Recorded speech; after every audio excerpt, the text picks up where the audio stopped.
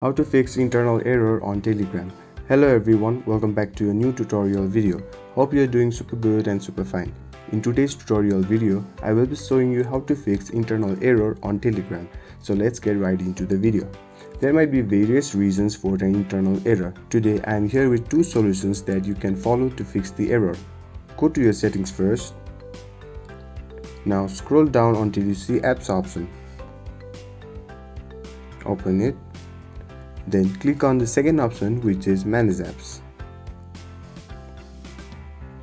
Now you can search the app by scrolling or just typing telegram on the search box.